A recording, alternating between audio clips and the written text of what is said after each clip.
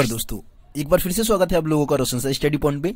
और आज का जो वीडियो है इलेवंथ क्लास के सभी स्टूडेंट के लिए बहुत ज़्यादा इंपॉर्टेंट होने वाला है, क्योंकि आज की इस वीडियो में हम इलेवंथ क्लास हिस्ट्री का जो सेवन चैप्टर है, जिसका नाम है बदलती हुई सांस्कृतिक परंपरा इस चैप्टर से हम मोस्ट इंपॉर्टेंट क्वेश्चन देखने वाले हैं, जो कि आपके सेकंड टर्म के एग्ज़ाम में आने वाले हैं। तो इसमें लॉन्ग क्वेश्चन ज़्यादातर लॉन्ग क्वेश्चन को मैंने ऐड किए हैं, ठीक है? और बहुत ही ज़्यादा इंपॉर्टेंट क्वेश्चन है तो दोस्तों, आज की इस वीडियो में मैं आपको क्वेश्चन तो बताऊँगा जो भी इंपॉर्टेंट क्वेश्चन है, साथ ही साथ में आपको आंसर भी बताऊँगा उन सभी क्वेश्चन का। तो आप लोग वीडियो का एंड तक देखें। और इसके अलावा आप लोगों ने चैनल को सब्सक्राइब नहीं किया तो ज़रूर कर ले। देखिए दोस्तों, आप लोगों का इलेवन क्लास का complete syllabus Roshan science study point पे करवाया जा रहा है, हिस्ट्री पोल साइंस का। इसके अलावा सभी चैप्टर के इंपॉर्टेंट जो क्वेश्चन है, जो कि आपके एग्ज़ाम में आएँगे, वो सभी इंपॉर्टेंट क्वेश्चन आपको करवाए जाएँगे। इसके अलावा हर एक चैप्टर के नोट्स आपको टेलीग्राम पे प्रोवाइड करा दिया जाएगा तो इसलिए आपको चैनल को सब्सक्राइब ज़रूर कर लेना चाहिए। और एक और खास बात की इस चैनल पे आपको कुछ अलग तरीके से चैप्टर को समझाया जाता है ना? एनिमेशन वीडियो के माध्यम से आपको समझाया जाता है, जो कि अधिकांश अगर आप यूट्यूब चैनल को देखेंगे तो वहाँ पे आपको या तो पीडीएफ के माध्यम से समझाते हैं, या फिर बोर्ड पर आपको क्लासरूम में बोर्ड के माध्यम से आपको समझाते हैं। लेकिन यहाँ पे आपको एनिमेशन के माध्यम से चैप्टर को समझाया जाता है। तो इसलिए आप चैनल को ज़रूर सब्सक्राइब कर ले, क्योंकि ये चैनल आप लोगों के लिए बहुत ही ज़्यादा हेल्पफुल रहने वाला है। तो चलिए दोस्तों, अब हम अपने क्वेश्चन को देखना स्टार्ट करते हैं। दोस्तों इन सभी क्वेश्चन को देखने से पहले आपको क्या करना है? सबसे पहले आपको वीडियो को देखना है। चैप्टर की वीडियो मैंने आप लोगों को तीन पार्ट में पूरे चैप्टर को समझा दिया है। तो आप लोग उन तीनों ही वीडियो को ज़रूर देख लें। जब जाके आपको इसमें जितने भी क्वेश्चन आपको समझाए गए आसानी से आपको समझ में आ जाएगा।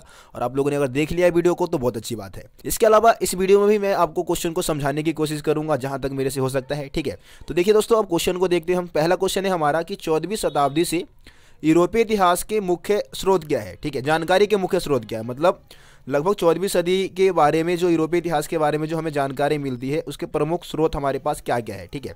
ये हमें बताना है इस क्वेश्चन में। तो देखिए दोस्तों, नीचे आंसर भी दिया हुआ है। यूरोपीय इतिहास के बारे में जानकारी प्राप्त करने का मुख्य जो स्रोत है चौदहवीं सदी के बारे में, वो है यूरोप और जो अमेरिका है, ठीक है?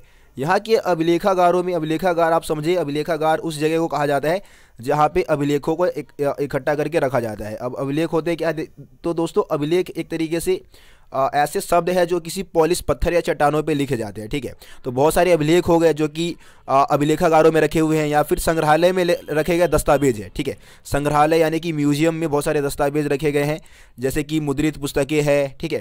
मूर्तियाँ हो सकती है इसमें, आपकी बहुत सारी मूर्तियाँ मूर्तियाँ भी उस समय की हमें मिली है, जिससे कि हम यूरोप के बारे में जानकारी प्राप्त कर सकते हैं, वस्त्र है, ठीक है? इससे भी हमें जानकारी मिल सकता है। या फिर सुरक्षित भवन ठीक है, इस समय की बहुत सारी सुरक्षित भवन है, जो कि हमें यूरोपीय इतिहास के बारे में यूरोपीय सभ्यता के बारे में या चौदहवीं सदी के आसपास का जो यूरोपीय इतिहास है, उसके बारे में हमें जानकारी प्रदान करती है। तो ये आपका लगभग दो नंबर, दो मार्क्स में क्वेश्चन आपका आ सकता है, ठीक है, उसके बाद हम देखते हैं क्वेश्चन नंबर दो है, क्वेश्चन नंबर जो दूसरा दिया गया है, वो है पुनर्जागरण से आप क्या समझते हैं, इसे आधुनिक युग का आरंभ क्यों समझा जाता है? तो दोस्तों, ये जो क्वेश्चन है, कुल मिला के मतलब इसमें दो क्वेश्चन ऐड किया गया सबसे पहले तो आपको इस क्वेश्चन में आपको पुनर्जागरण के बारे में बताना है सबसे पहली चीज़, ठीक है? और दूसरा आपको बताना है कि जो पुनर्जागरण है, उसको ही आधुनिक युग का आरंभ क्यों माना जाता है? तो आपको पता है पुनर्जागरण का समय काल क्या है? चौदहवीं सदी से पुनर्जागरण की शुरुआत मानी जाती है है ना? चौदहवीं सदी से यूरोपीय इतिहास में पुनर्जागरण का उद्भव हुआ था, ठीक? तो हम सबसे पहले पुनर्जागरण को समझते हैं, पुनर्जागरण है क्या? देखिए दोस्तों, पहला पॉइंट लिखा गया है कि पुनर्जागरण को इतिहास में हम पुनर्जन्म पुनः जागृति या फिर पुनरुत्थान जैसे शब्दों से हम जानते हैं, पुनरुत्थान जैसे नामों से हम इसको जानते हैं। अब देखिए दोस्तों, अंग्रेज़ी में हम इसको क्या कहते हैं? रेनेसा कहते हैं, ठीक है? अंग्रेज़ी में इसको हम रेनेसा कहते हैं और जो पुनर्जागरण है, वो एक तरीके से फ्रांसीसी भाषा का शब्द है। कौन सी भाषा का शब्द है? फ्रांसीसी भाषा का शब्द है और पुनर्जागरण का अर्थ होता है फिर से जागना, ठीक है? ये चीज़ आप समझिए। इसके अलावा दूसरा पॉइंट लिखा गया है कि भाई जो पुनर्जागरण का जो समय काल है, वो लगभग चौदहवीं से लेकर सोलहवीं सदी का जो समय काल है यूरोप में, उसको हम पुनर्जागरण का, काल कहते हैं। और पुनर्जागरण के काल से क्या हुआ? आधुनिक युग की जो शुरुआत है, आधुनिक युग की शुरुआत कब से मानी जाती है? पुनर्जागरण के समय काल से ही मानी जाती है। अब हम समझते हैं कि यार, ये जो पुनर्जागरण का जो समय काल है, उसी को ही आधुनिक युग की शुरुआत क्यों माना जाता है? ठीक है? तो यहाँ पे कुछ तीन चार पॉइंट लिखे हुए, तीन पॉइंट लिखे गए हैं कि पुनर्जागरण को ही आधुनिक युग क्यों माना जाता है? आधुनिक युग की शुरुआत क्यों मानी जाती है? तो सबसे पहला पॉइंट लिखा गया है कि भाई पुनर्जागरण के युग में ही क्या हुआ? जो मध्यकाल मध्यकाल की जो रूढ़ीवादी मान्यताएँ थी मतलब पुरानी जो मान्यताएँ थी चर्च की मान्यताएँ जो थी उसके विरुद्ध आवाज़ उठाया गया। वो एक तरीके से समा, समाप्त हो गई पुरानी मान्यताएँ। जैसे कि आप लोगों ने चैप्टर को समझा होगा तो आपने आप लोगों ने देखा होगा कि भाई चर्च का मानना यह था कि जो पृथ्वी है वो क्या है? स्थिर है और सूरज इसके चारों तरफ़ चक्कर लगाता है। इसके अलावा लोगों को कई तरीके के बेवकूफ़ बना के चर्च क्या करती थी? लोगों से पैसे वगैरह वगैरह वसूला करती थी। लेकिन इस समय क्या हुआ? पुनर्जागरण के समय काल में ये सभी मान्यताएँ समाप्त हो गई, ठीक है? इसके अलावा इस काल में बहुत सारे नवीन वैज्ञानिक आविष्कार किए गए। बहुत सारी खोजें हुई, भौगोलिक खोजें हुई और कला और साहित्य के क्षेत्र में भी बहुत ज़्यादा उन्नति प्रगति देखने को मिलता है, ठीक है? बहुत सारी मूर्ति कला और साहित्य की बहुत सारी रचनाएँ हुई थी। मानवतावादी विचारधारा का उद्भव भी आपको पता है, इसी समय काल में माना जाता है। तो इन सभी कारणों से क्या है? पुनर्जागरण को आधुनिक युग का आरंभ माना जाता है। तो ये आपका दूसरा क्वेश्चन हो गया। आप क्वेश्चन नंबर तीन देख लेते हैं। क्वेश्चन नंबर तीन है पुनर्जागरण का उदय सबसे पहले यूरोप में क्यों हुआ? ठीक है। आ, वैसे यहाँ पे पीडीएफ मैंने यहाँ पे अटैच कर रखा है, जिसमें से मैं आपको समझाऊँगा। तो पुनर्जागरण का उदय सबसे पहले यूरोप में क्यों हुआ? सवाल ही है। बहुत ही आसान क्वेश्चन है। मैं समझा देता हूँ, पुनर्जागरण का उद्भव यानी कि सबसे पहले जो नवीन वैज्ञानिक आविष्कार वगैरह जो होने शुरू हुए चर्च के खिलाफ जो आवाज़ उठाए गए, वो यूरोप में उठाए गए थे, है ना, पुनर्जागरण काल में। तो पुनर्जागरण का युग सबसे पहले यूरोप में आने के पीछे का जो पहला आपका जो सबसे महत्वपूर्ण कारण था, वो है धर्मयुद्ध, ठीक है। आपको पता है कि भाई धर्मयुद्ध जो हुआ था, आपको पता है धर्मयुद्ध ईसाइयों और मुसलमानों के बीच में लड़ा गया था। कुल मिला के हम तीन धर्म युद्ध की बात करते हैं। आप लोगों ने अगर फोर्थ चैप्टर को समझा होगा तो फोर्थ चैप्टर में हमने तीन धर्म युद्ध की बात की थी, ठीक है? तो आपको पता है कि जो ये तीसरा धर्म युद्ध हुआ था मतलब धर्म युद्ध का मेन कारण था जेरूसलम ठीक है? यहाँ पे लिखा भी है जेरूसलम को लेकर, क्योंकि जेरूसलम मुसलमानों के लिए भी बहुत ज़्यादा महत्वपूर्ण था, क्योंकि जेरूसलम में मुसलमानों का एक प्रसिद्ध मस्जिद डोम ऑफ़ रॉक वहीं पे था। और इसके अलावा ईसाइयों के लिए भी जेरूसलम का महत्व विशेष था, क्योंकि ईसाई मतलब जो ईसा मसीह थे, उनको सूली पे यहीं पे लटकाया गया था और तीन दिन बाद वो दोबारा जीवित भी हो गए थे। तो जेरूसलम को छुड़ाने के लिए युद्ध लड़ा गया था, लेकिन तीनों धर्मयुद्ध, तीन जब धर्म युद्ध हुआ, जब तीसरा धर्म युद्ध हो रहा था ना तो उस समय क्या हुआ, ईसाइयों को यह एहसास हो गया था कि धर्म के नाम पर युद्ध करने से उनको किसी प्रकार का कोई फ़ायदा नहीं होने वाला है, बल्कि उनको अपने उन्नति, प्रगति और मतलब उन्नति प्रगति पे उनको अपना ध्यान एकत्रित करना चाहिए ध्यान देना चाहिए। तो इस कारण कहीं ना कहीं धर्मयुद्ध से उनके विचारों में भी जागृति आई और वो अपने विकास के ऊपर ध्यान देना शुरू कर दिया। उसके बाद है, दूसरा है धर्म सुधार आंदोलन, ठीक है? यूरोप में इसी समय काल में क्या हुआ? धर्म सुधार आंदोलन चलाया गया। धर्म सुधार आंदोलन एक तरीके से चर्च के नियमों के खिलाफ था, ठीक है? चर्च के अधिकारों को चुनौती देने के लिए ये धर्म सुधार आंदोलन चलाए गए थे। आगे हम धर्म सुधार आंदोलन के बारे में वैसे एक क्वेश्चन मैंने ऐड कर रखा है, उसमें समझाऊँगा। तो धर्म सुधार आंदोलन से भी क्या हुआ? लोगों के विचारों में जागृति आई, लोगों ने चर्च के खिलाफ आवाज़ उठाना शुरू कर दिया और ये कहीं ना कहीं पुनर्जागरण को उदय पुनर्जागरण को बढ़ावा दिया, ठीक है? उसके बाद तीसरा पॉइंट आप बता सकते हैं, जो आपका तीसरा पॉइंट यहाँ पे दिया गया है ठीक है, तीसरा पॉइंट है भौगोलिक खोजे या वैज्ञानिक खोजे। आप बता सकते हैं, किसी समय काल में क्या हुआ, बहुत सारे वैज्ञानिक खोजे हुई, ठीक है। जैसे कि यहाँ पे आपका मार्को पोलो का नाम लिख दिया है। मार्को पोलो ने क्या किया, मार्को पोलो ने दिशा सूचक यंत्र बनाया, ठीक है। दिशा सूचक यंत्र बनाया, जिससे कि समुद्र में हमें सही दिशा का ज्ञान होने लग गया, बहुत ज़्यादा समुद्री खोजे नए नए देशों की खोज होने लग गया इससे। दूसरा, गैलीलियो की यहाँ पे बात की गई है। गैलीलियो ने क्या बनाया था? दूरबीन बनाया, है ना। माइक्रोस्कोप की खोज की तो इससे भी क्या अंतरिक्ष के बारे में सही सही जानकारी होने लग गया इसके अलावा कोपर निकस की खोज से भी सौरमंडल के बारे में हमें बहुत सारी जानकारी उपलब्ध हो गई थी। तो ये भौगोलिक खोज भी एक तरीके से पुनर्जागरण लाने में एक विशेष योगदान देता है। उसके बाद सबसे ज़्यादा जो योगदान मिला है छापे खाने का आविष्कार। देखिए दोस्तों, यहाँ से अलग से भी क्वेश्चन आपके एग्ज़ाम में आ सकता है छापे खाने के बारे में। आपको पता है कि जो जोहान गुटेन वर्ग थे, ठीक है, गुटेन वर्ग ने क्या किया था? सबसे पहले प्रिंटिंग मशीन का निर्माण किया था, लगभग 1455 या छप्पन के आसपास। 1455 बुक में लिखा हुआ है, लेकिन गूगल पे आप सर्च मारेंगे तो 1456 आपको वहाँ पे डेट नज़र आएगा। तो 1455 में इन्होंने क्या किया था? छापा खाने का आविष्कार किया प्रिंटिंग प्रेस का आविष्कार किया, जिससे कि अब पुस्तकें, क्या हुआ? पुस्तकें तेज गति से छपने लग गई, है ना? पहले क्या था कि पुस्तकें हाथों से छापी जाती थी, जो कि बहुत ज़्यादा समय लगता था पुस्तकों को छापने में। और शिक्षा का प्रचार बहुत ही कम आ, हो पाता था। लेकिन अब क्या हुआ? शिक्षा का प्रचार बहुत तेज़ गति से होने लग गया। ठीक है लोगों के विचार में जागृति आई कोई भी विचारक या कोई भी दार्शनिक अपना कोई विचार तेज़ी से फैलाना चाहता था तो बहुत तेज़ गति से इस प्रिंटिंग प्रेस के माध्यम से पुस्तकें छाप के उनके विचारों को आगे बढ़ाया जा सकता था उनके विचार को फैलाया जा सकता था। तो इससे भी कहीं ना कहीं लोगों के विचारों में जागृति आई और पुनर्जागरण का उद्भव सबसे पहले कहाँ हुआ? यूरोप में हुआ। तो मैं उम्मीद करता हूँ आप लोगों को ये क्वेश्चन भी समझ में आ गया होगा। अब आगे बढ़ते हैं। अगला क्वेश्चन देखते हैं। अगला क्वेश्चन है हमारा मानवतावाद के ऊपर, ठीक है? मानवतावाद के विशिष्ट अभिलक्षण आपको बताने हैं। मानवतावाद के विशिष्ट अभिलक्षण क्या होते हैं? मतलब कि अभिलक्षण, अगर ऐसे कोई क्वेश्चन आता है कि भाई किसी चीज़ का अभिलक्षण आपसे पूछा जाता है, अभिलक्षण मतलब आपको उसमें उसकी विशेषता बतानी है। यहाँ पे आपको मानवतावाद की प्रमुख विशेषताओं का वर्णन करना है, ठीक है? देखिए मानवतावाद की अगर हम बात करें तो मानवतावाद जो पुनर्जागरण में ही क्या हुआ? पुनर्जागरण के समय काल में ही मानवतावादी विचारधारा का उद्भव होता है, ठीक है? पहला पॉइंट आपका ये लिखा हुआ है। अब मानवतावाद का अर्थ क्या है? मानवतावाद का अर्थ है मनुष्य में रुचि लेना और उसका आदर करना ही क्या है? मानवतावाद है। अब मानवतावाद में क्या होता है? हम मनुष्य की समस्याओं का अध्ययन करते हैं। मनुष्य की समस्या क्या है? मनुष्य के जीवन के महत्व को हम स्वीकार करते हैं कि भाई मनुष्य का जीवन कितना ज़्यादा महत्वपूर्ण है। लेकिन पुनर्जागरण से पहले मानवतावाद को उतना ज़्यादा महत्व नहीं दिया जाता था दोस्तों। उस समय क्या होता था? लोगों को गुलाम बना के रखा जाता था। तरह तरह से उनका उत्पीड़न किया जाता था, मारा जाता था गुलामों को, जंजीरों में मान के रखा जाता था। लेकिन मानवतावाद, जब मानवतावादी विचारधारा का उदय हुआ तो लोगों ने मनुष्य के जीवन को और ज़्यादा समृद्ध बनाने की कोशिश की, उनके जीवन को सुधारने की कोशिश की। तो ये सब क्या है? यही मानवतावाद एक तरीके से। मानवतावाद में हम क्या करते हैं? अब परलोक की अपेक्षा हम इसी लोक की बात करते हैं लोक की बात करते हैं, ठीक है? यही लोग यानी कि आप इस, जिस लोग में, आप जिस दुनिया में रह रहे हो ना, उसको ही हम महत्व देते हैं मानवतावाद में, ठीक है? क्योंकि हमारे लिए यही लोग जिसमें हम निवास कर रहे हैं, वही सब कुछ है। परलोक वगैरह कुछ नहीं होता है, ऐसा मानवतावादियों का मानना है, ठीक है? आगे बढ़ते हैं, मानवतावाद वाला क्वेश्चन हो गया आपका, ठीक है? ये भी बहुत ज़्यादा इंपॉर्टेंट क्वेश्चन है, आप इसको ध्यान से कर ले, एक बार देख ले। उसके बाद हम बात करते हैं धर्म सुधार आंदोलन की। बहुत ज़्यादा इंपॉर्टेंट क्वेश्चन है दोस्तों ये और इस क्वेश्चन को तीन तरीके से आपके एग्ज़ाम में पूछा जाने वाला है।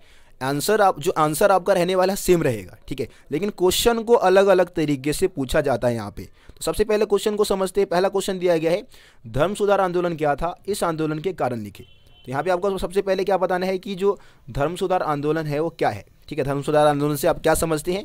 और ये आंदोलन चलाए जाने के पीछे के प्रमुख कारण क्या थे? पहले तो आपको ये बताना है।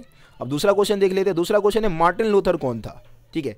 और इसने पोप के विरुद्ध विद्रोह क्यों किया? तो इसमें भी आपको मार्टिन लूथर यानी कि धर्म सुधार आंदोलन को, के जन्मदाता इन्हीं को माना जाता है, मार्टिन लूथर को माना जाता है। तो मार्टिन लूथर के बारे में आपको पहले बताना है, उसके बाद इन्होंने पोप के विरुद्ध जो आंदोलन चलाया था, विद्रोह जो किया था, वो क्यों किया? ये आपको बताना है। इसमें भी आपको एक तरीके से धर्म सुधार आंदोलन के कारण ही बताने हैं, ठीक है? उसके बाद तीसरा जो क्वेश्चन आ सकता है आपको, इसी क्वेश्चन को अलग तरीके से पूछेंगे। क्वेश्चन है धर्म सुधारकों ने पंद्रहवीं पंद्रहवीं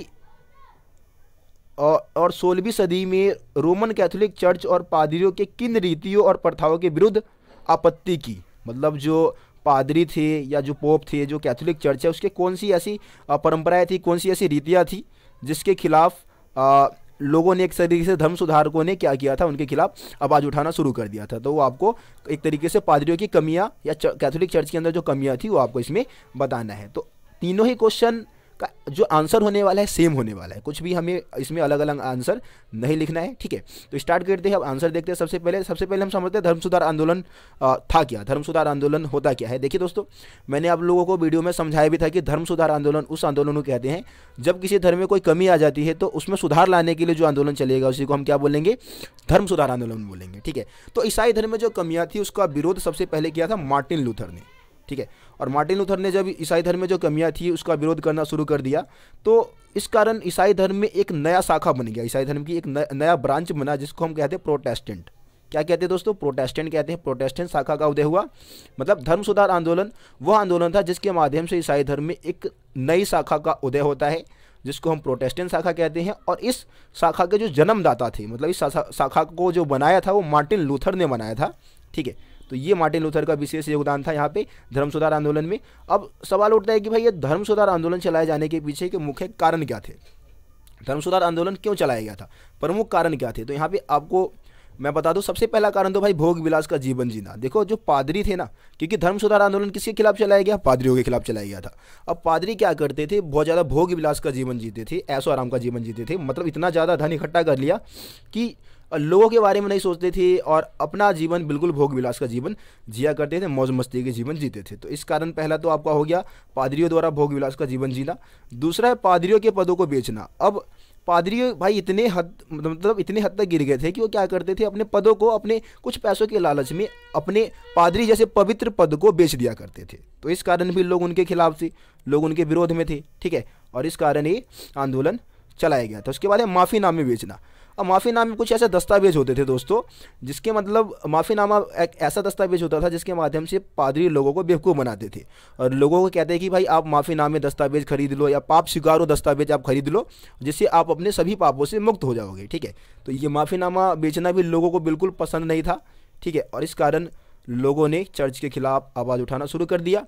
उसके बाद आप अगला पॉइंट बताएँगे, पोप द्वारा कर की वसूली, जो पोप है, ठीक है? पोप क्या करते थे? लोगों से ज़बरदस्ती अनेक प्रकार के, जनता से अनेक प्रकार के टैक्स वसूला करते थे, शुल्क वसूला करते थे और अपनी ऐसो आराम की ज़िंदगी जीते थे। तो ये भी लोगों को पसंद नहीं आया और चर्च के खिलाफ आवाज़ उठाया गया और ये चार ऐसे कारण थे जिस कारण धर्म सुधार आंदोलन चलाया गया था। किसके द्वारा?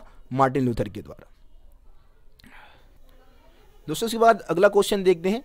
अगला क्वेश्चन है कोपर निकस्य क्रांति का वर्णन कीजिए। कोपर निकस्य क्रांति से आप क्या समझते हैं? तो आपको पता है कि कोपर निकसी एक ऐसे विद्वान थे, जिन्होंने सबसे पहले चर्च के खिलाफ आवाज़ उठाना वैसे इनसे पहले भी बहुत सारे विद्वानों ने चर्च के वर्चस्व के खिलाफ या चर्च की जो सिद्धांत थी सौर मंडल को लेकर कि भाई, चर्च का मानना ये था कि पृथ्वी पे जो मनुष्य है, मनुष्य क्या है? पापी है है ना? ये ऐसा चर्च कहा करती थी मनुष्य पापी है और इसके पाप के कारण क्या हुआ कि जो पृथ्वी है वो एक जगह स्थिर है, पाप के दबाव के कारण, मनुष्य के पाप के दबाव के कारण जो ये पृथ्वी है स्थिर है। और जो मतलब सूरज है वो चारों तरफ़ इसके क्या करता है? चक्कर लगाता है। लेकिन जो वैज्ञानिक थे, उनका दृष्टिकोण इसको लेकर क्या था? बिल्कुल अलग दृष्टिकोण था। वो अलग तरीके से इस चीज़ को सोचा करते थे। उनका मतलब विचार, जैसे कोपर निकास का ही विचार था कि पृथ्वी समेत जितने भी सौरमंडल में जो ग्रह है, वो सभी क्या करते हैं? सूरज के चारों तरफ़ चक्कर लगाते हैं। ये बात किसने कही थी? कोपर निकस ने। तो कोपर निकस इस बात को जब बोला तो वो डरता था। उसको पता था कि भाई, अगर मतलब इस तरीके से उसकी हत्या कर दी जाएगी, उसको भी पता था ये बात कि अगर लोगों को पता चलेगा ये बात तो ईसाइयों द्वारा उनकी मतलब पादरियों द्वारा उनकी हत्या करवा दी जाएगी। तो उन्होंने क्या किया था? अपने एक पांडुलिपि लिखी थी उन्होंने, एक अपना ग्रंथ लिखा था जिसका नाम था दी रिवल्यूशनिवस क्या नाम बोला मैंने? दी रिवल्यूशनिवस इसको प्रकाशित नहीं करना चाहते थे, क्योंकि उनको पता था। इसको प्रकाशित तो करना नहीं चाहते थे, उनको पता था कि लोग मतलब जो पादरी लोग हैं उनको उनकी हत्या करवा देंगे या उनको जेल में डाल देंगे। तो जब वो अपनी मृत्यु से यहाँ पर परे हुए थे जब अंतिम साँसें ले रहे थे तो उन्होंने क्या किया? अपने इस ग्रंथ दी रिवल्यूशनिवस को किसको सौंप दिया?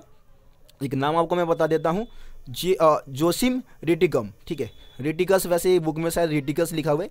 जोसिम रिटिकस को उन्होंने क्या किया? अपने इस ग्रंथ को सौंप दिया।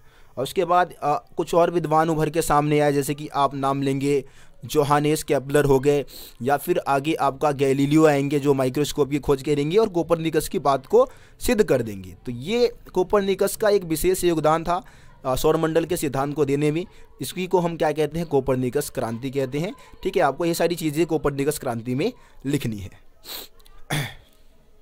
दोस्तों, अब आगे बढ़ते हैं। क्वेश्चन है, अगला क्वेश्चन है, पुनर्जागरण काल में महिलाओं की स्थिति का वर्णन कीजिए। ठीक है? या फिर इसी को अलग तरीके से क्वेश्चन पूछा जाता है कि पंद्रहवीं सोलहवीं सदी के दौरान महिलाओं की स्थिति कैसी थी?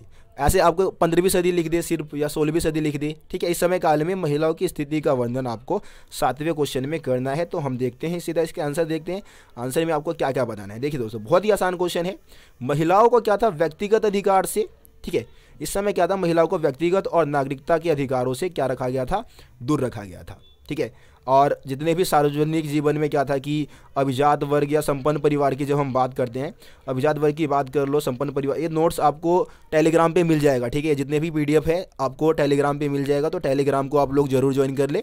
टेलीग्राम का लिंक मैं डिस्क्रिप्शन में डाल दूँगा। इसके अलावा टेलीग्राम पर जाके आप, आप अगर सर्च करते हैं रोशन सा स्टडी पॉइंट तो आ जाएगा मेरा टेलीग्राम और वहाँ पर जाके आप उसको ज्वाइन ज़रूर कर ले ठीक है? तो हम यहाँ पे क्वेश्चन की बात करें महिलाओं की स्थिति, ठीक है, पुनर्जागरण काल में। तो भाई महिलाओं को एक तरीके से क्या था कि घर में जितने भी फैसले होते थे उसमें कोई भी निर्णय लेने का अधिकार नहीं था। निर्णय कौन लेते थे? तो निर्णय लेते थे पुरुष, क्योंकि इस घर में दबदबा किसका होता था? पुरुष का ही हुआ करता था। इसके अलावा महिलाओं को, लड़कियों को शिक्षा भी नहीं दिया जाता था। शिक्षित किसको करते थे? सिर्फ़ लड़कों को क्या करते थे? ताकि वो आगे पढ़ लिख के अपनी ज़िम्मेदारी उठा सके, ठीक है? इसके अलावा आप देखेंगे कि विवाह के समय जो भी दहेज मिलता था उसको लोग लो, क्या करते थे अपने पारिवारिक कार्य में पूरी तरीके से लगा दिया करते थे। पारिवारिक कोई भी कारोबार स्टार्ट करना हो तो दहेज की रकम को पूरी तरीके से उसमें खर्च कर दिया करते थे। इसके अलावा मतलब आ, महिलाओं को बिल्कुल ये अधिकार नहीं था कि वो क्या करे अपने पति के किसी काम काज में या पति के कारोबार में आ, एक तरीके से अपनी बात रख सके या कोई हिस्सेदारी ले सके या कोई राय दे सके यह हक नहीं था उनको ठीक है? और कई बार क्या होता था कि अगर दहेज नहीं मिल पाता था तो दहेज ना मिलने की सूरत में महिलाओं को मठ में भेज दिया जाता था भिक्षु बनने के लिए, ठीक है? भिक्षुणी बनने के लिए उनको कहाँ भेज दिया भेज दिया जाता था? मठों में भेज देते थे। तो इससे ये समझ में आता है कि महिलाओं की स्थिति उतनी कोई खास अच्छी नहीं थी। लेकिन यहाँ पे हमें स्थिति देखनी होगी कि भाई किस घराने से महिला बिलोंग करती है ना? अगर मान लो कि कोई महिला है जो कि व्यापारिक या साहूकार के परिवार से बिलोंग कर रही है तो वहाँ पर क्या था? कुछ स्थिति अलग थी। अगर कोई व्यापारिक परिवार की महिला है ठीक है, अगर व्यापारिक घराने से उसका संबंध है तो वहाँ पे क्या होता था कि महिलाओं को जब उनके पति जो व्यापारी या साहूकार जो है वो अगर किसी दूसरे गाँव में चले गए कारोबार के सिलसिले से तो उस समय क्या होता था कि ये जो महिलाएँ होती थी, वो क्या करती थी? अपने व्यापार को संभालती थी, ठीक है? अपने पति के दुकान को या अपने पति के कारोबार को क्या करती थी, वो महिलाएँ संभाला करती थी। तो इससे समझ में आता है कि अलग अलग घराने में महिलाओं की स्थिति अलग अलग प्रकार की थी, ठीक है? तो दोस्तों, ये आपका कुल मिला के मैंने सात मोस्ट इंपॉर्टेंट क्वेश्चन बता दिया है, जो कि आपके फ़र्स्ट टर्म के एग्ज़ाम में आने वाले हैं। अधिकांश इन्हीं में से आने वाली चीज़ें बाहर से कुछ नहीं आएगा मेरे हिसाब से तो भाई, क्योंकि लगभग चार सालों से मैं बच्चों को कोचिंग क्लासेस दे रहा हूँ तो मेरे को पता है कि भाई कौन कौन से क्वेश्चन आपके इंपॉर्टेंट बनते हैं। अधिकांश अगर आप सैंपल पेपर को भी उठा के देखेंगे तो यही सारे क्वेश्चन आपको उनमें भी नज़र आने वाले हैं। तो यार वीडियो को भाई लोग शेयर ज़रूर करो यार। बहुत ज़्यादा मेहनत करता हूँ आप लोगों के लिए वीडियोस बना रहा हूँ, ठीक है?